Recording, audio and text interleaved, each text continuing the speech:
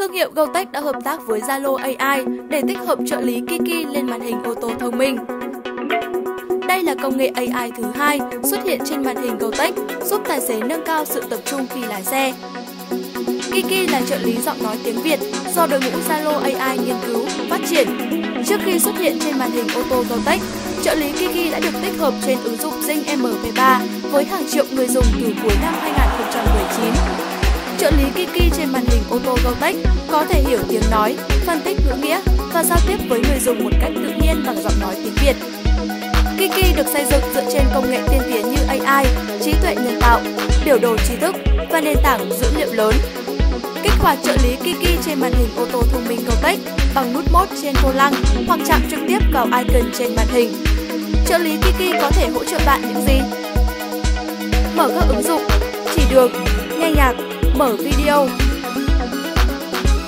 tra cứu thông tin và hỏi đáp. Trợ lý Kiki trải nghiệm rảnh tay trên màn hình ô tô thông minh GoTech